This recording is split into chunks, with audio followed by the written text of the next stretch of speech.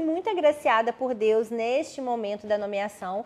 É, mandei a minha lista de cidades. Provavelmente eu não ficaria em Juiz de Fora, que Eles é a minha cidade pediram, natal. então? Eles pedem. No TJ Minas, quando eu fiz, não foi regionalizado. Esse último me parece que foi.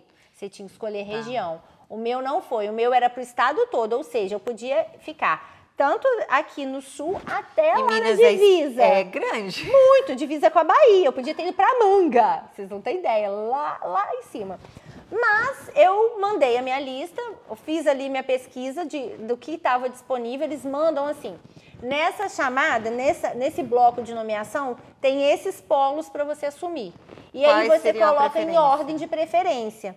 E aí o número de pessoas que foram chamadas juntas nessa, nessa leva quem vai ficando por número de classificação. Então eu já sabia que eu não ia ficar em Juiz de Fora, porque tinha uma vaga para Juiz de Fora e tinham duas meninas na minha frente. Eu era a terceira do polo de Juiz de Fora.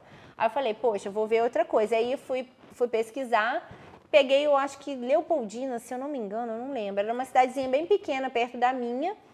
Coloquei como segundo, terceiro Mar de Espanha e assim fui. Cidades bem próximas, mas bem pequenas, assim, interiorzão, interiorzão.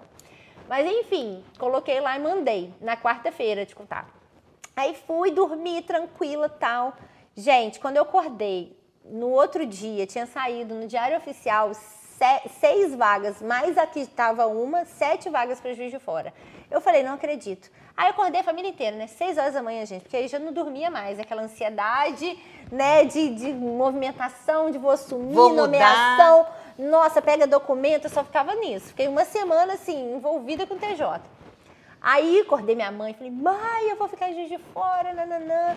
Gente, Ela deve fiquei, ter ficado mega feliz. fiquei em né? Juiz de Fora. Foi assim, realmente, Deus. isso foi Deus. É. Porque assim, a possibilidade de eu ficar em Juiz de Fora era, você sabe, 0,0001. Porque o estado é, É imenso. imenso, é imenso. Eu fiquei em Juiz de Fora, fiquei um ano e meio morando com a minha mãe.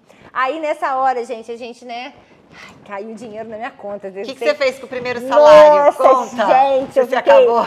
Eu não me acabei, hoje eu sou muito disciplinada, gente. Eu fiquei até agora. No do TJ era pandemia, foi em maio de 2020. Putz, não pode nem sair pra gastar. Não tinha como gastar, sabe o que eu fiz? Obra.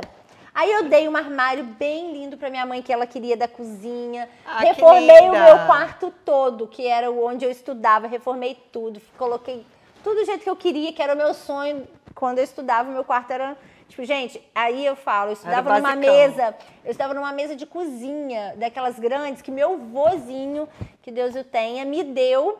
Era grandona e eu acostumei com aquela que eu jogava, né? Aquelas coisas tudo pela mesa. Agora, aí agora eu cheguei em. São Paulo e comprei uma escrivaninha desse tamanho, nem me cabe naquele negócio, mas tudo bem.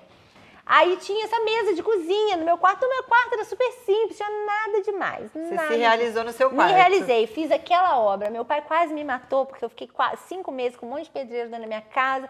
Mas aí aproveitei e arrumei algumas coisas para meus pais Que também. linda. Beleza, fiz a obra. Quando eu terminei, falei, uh, agora eu vou aproveitar meu quarto.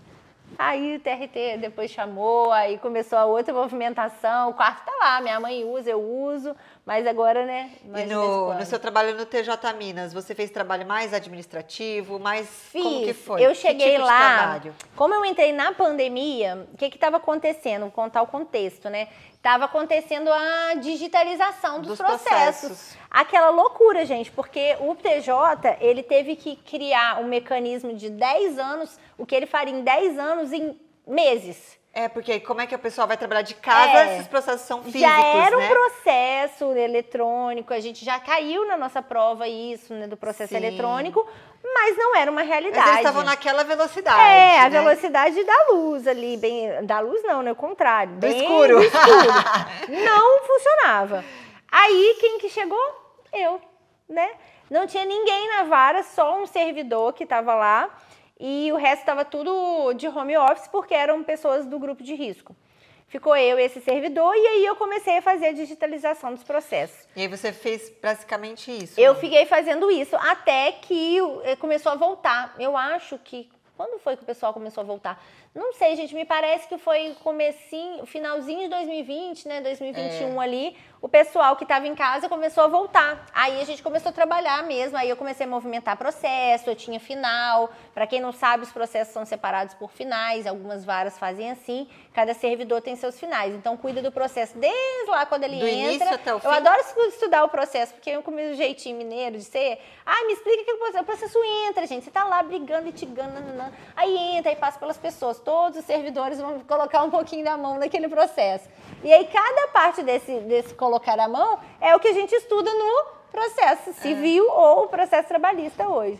E então, nos atos também, também. Tudo, aí eu fazia tudo lá. Pegava, triagem, e você, intimava. Você cuida do mesmo processo do início até o Ao fim? Ao fim, no TJ. Legal. Era isso. Aí cada um tinha os seus finais. Era um bem legal, porque aí você tinha responsabilidade, suas caixinhas estavam vazias, o seu chefe sabia que você que fez, era ótimo. É legal. E isso é legal também, porque você não vê só um pedaço do processo, você sabe o caminho tudo, todo. Olha que tudo. bacana. Então você aprende muito, né? Você acha é. que você aprendeu Aprendi, muito? Aprendi, eu saí de lá, eu já entendia. Tanto que eu sabia explicar, eu já tinha estudado, claro, né, porque fazer a prova. Mas a prática é diferente. Mas a né? prática né? você consegue, né, os prazos. Nossa, gente, o que é estudar prazo? E recurso? Misericórdia. Gente, não é gostosinho, não, vou falar é. para vocês, mas, mas vale a pena. Mas na prática você dá conta. Na prática você vai entendendo, né?